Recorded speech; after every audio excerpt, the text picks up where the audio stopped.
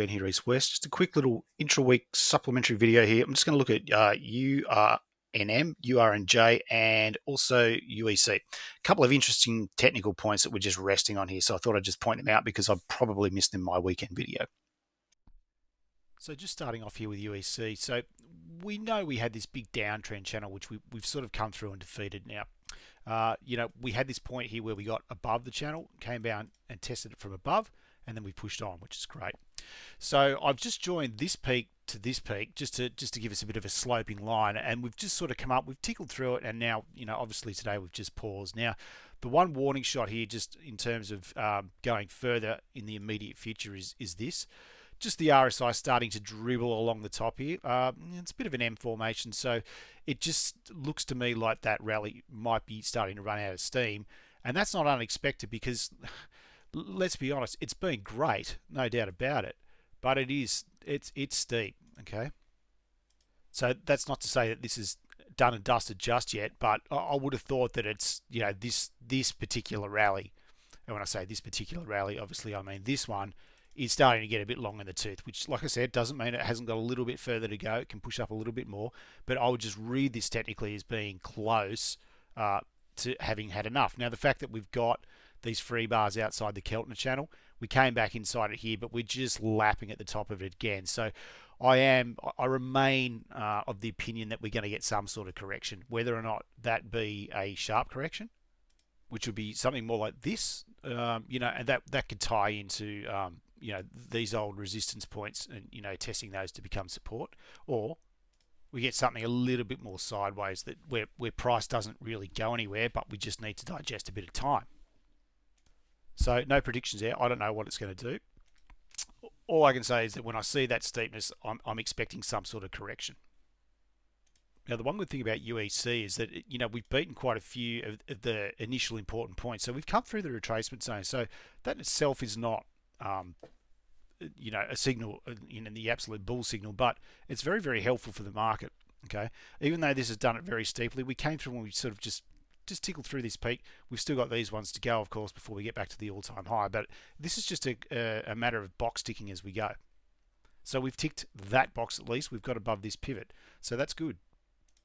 Um, I mean, Ichimoku wise on a daily, we're looking good. There's just this gap here between the Tenkan-sen and the Kijun-sen. They don't like to be too far apart. So that's why I'm just looking at this thing. Okay, you know, there's a good chance that we correct. Now, coming back this far looks well, look, nothing's impossible, of course, but coming back this far to test the cloud into the 50, the, the top of this cloud, look, it, you know, it remains a, a possibility for sure. But that would be the kind of area that I'd look for on any retracement. But like I said, this is a really strong market. So whatever sort of correction we get here, be it uh, flat or sharp, um, you know, the, a flat correction here where the market really can't even get anywhere um, below sort of this point, it just it sort of just stays in here. That's that's not unexpected. That that could certainly happen.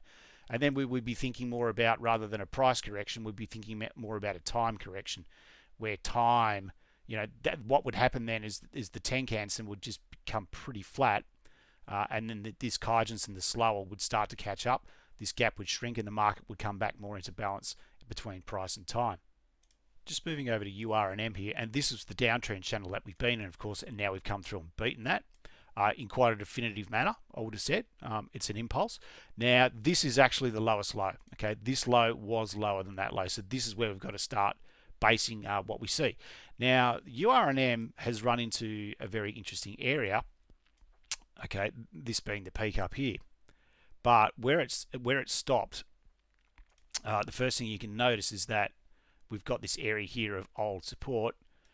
Uh, and, you know, it's not un unlike or it's not unexpected that this would become a point of resistance just initially, okay? Because the market has memory. When you look left, you look at the old structures. This is where the market was held uh, quite a few times and then it broke. So as it comes back up, it's not unexpected that it might pause there.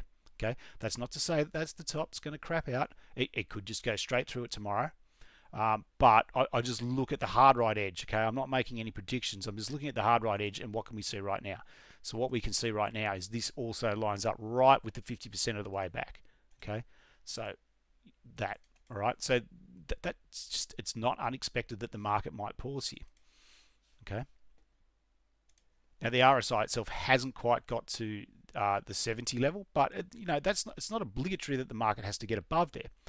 All we're looking at now is we can see the RSI is beginning to struggle, which means that uh, the market is starting to struggle to put in more bullish candles in relation to its recent history. It just means that it's running out of gas. At a very simple level, that's that's just what that means. So, is the correction imminent?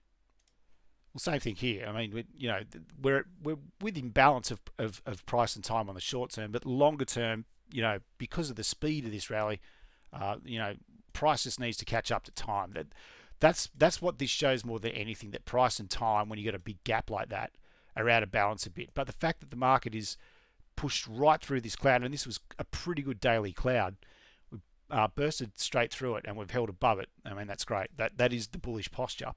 Uh, but it's just about setting up for the impulse. Uh, sorry, for the correction. And just looking at this, uh, to me, this doesn't look quite done. I mean, I'll, I'll, you know be looking at this thinking, well, one, two, three, you know, maybe some sort of choppy four. It looks like it's got more to go to me. I don't know, but just just the way that that structure looks, it doesn't. I mean, you could sort of make a, an argument that that's five waves, but it looks a little bit out of balance. Uh, to me, it just it looks like it needs a little bit more to, to be perfect. But things aren't perfect, and we just we have to take um, you know what the market gives us. We don't make predictions about it. We just go, okay, well, this is what it looks like at this point. Um, so if it if it does do this, what are my expectations? You know, do I think the odds are greater that it goes up or down? So this is the same thing again. It becomes about if it's a sharp correction or if we get more a, a, time correction where we just do this. Or once again, um, certainly not impossible that we just blow away straight up straight up further. That, that, that's definitely not impossible that happens either. I, I don't know. I'm, I haven't got a crystal ball. I am not trying to predict this stuff. I'm just saying, okay, well, this is where we sit. What looks most likely at this point? Now, some people might say, well, that's a prediction. I, I, I don't have a crystal ball. I can't predict the market. I'm just saying this is what it looks like. What is the, the highest probability? But uh, always, always, always, it, it, it can go up, down, sideways. It's the only three places it can go. And I don't know which one it'll go. Now, so far on this rally, this um, the short-term cloud's done a pretty good job of holding price. So we're just sort of riding this um, moving average stack-wise, and we're just getting this little bullish crossover now in the longer-term uh, moving averages. Now this is the 200-day moving average, so we haven't quite got there yet, but of, of course now we're above the 50, so that's that's good in the short term. Uh, so we will see if this holds. Um, I'm just thinking if this does crack, uh, you know, this will be the next point of call. But of course, these moving averages, there's not a lot of distance between them. So that, you know, what that means is in the long term, of course, that the trend is not yet established. Okay, and that's what we might see. Okay, so I'm just thinking in the in the in the medium term that we might establish the trend like that. All right, but we will see. We will see. I could be wrong on that. I am all. I'm, I'm often wrong, as someone's been gleefully pointing out to me uh, in some of the comments that you're wrong. You should admit it. Happy to been in the market long enough that I've had more serves of humble pie than most people have had hot dinners. Favourite dish, staple of the diet. So one thing that gives me just a little bit of pause, you know, and I don't know, but one thing that gives me a little bit of pause that maybe this might push us a little bit further is that the retracements are a little bit deep into the cloud, and ultimately, I'd like to see price just push up just enough so that any correction held that cloud. That would be good for me. So, you know, I'd like to see even that, that that'd be fine coming back to the 38.2 because that would show me that the market is, is very, very strong and that this rally is going to respect. Um, but we, yeah, of course, we need price to push that a little bit further. What's kind of interesting is we've got this old peak up here, sharpen that up. If the market somehow managed to rally all the way up there on, on this run, and it could, um, that brings the 50 right to the cloud. So that that that'd be great. But you know, it's it's definitely not impossible that that that sort of scenario could happen. So yeah, look, entirely possible. I don't know. I, I am not sure it's going to get this high on this run, but I, you know I've been wrong about the run uh, thus far because I didn't expect that it was going to pick up steam as quickly as it had. So I, I was completely wrong in my view. I, I, don't think I was ever, you know, forever bearish, but I, I just thought that this needed a bit more time to to digest and get through. But it hasn't. It's it's it's gone further and, and it's gone faster than what I was expecting, and I was wrong just moving over here to URNJ to the juniors here, and it's, the same sort of phenomenon, and we've got this, okay, so, and you could even go back there, that's maybe a little bit low, but you have this little bottom here, and it's just sort of, you know, it's just flipping support, broken, just becoming resistance, which is right on top of the 50 once again, but we have defeated the downtrend for, for the moment. So this one has me a little bit more betwixt and between because we've come up here and beaten the cloud, but you can just see the RSI now. It's just starting to bog down, which doesn't mean that it's going to collapse. It could it could easily kick up one more time. And the thing about looking at this structure is this one, even more so than the others, looks incomplete. Right, so that to me does not look like a completed impulse. It, it doesn't. Here it looks good. One, two, three. This is is more synonymous with wave four. You know that I, I would be more expecting at this point. That that's just how I'd read this in isolation because this and that's just the, purely looking at the price structure of repeating patterns. That doesn't look like a completed five wave impulse to me at this point. But in saying that, you, you can't ignore the fact that the market's just starting to bog down. Okay, it is just running into those areas and it's just stopping.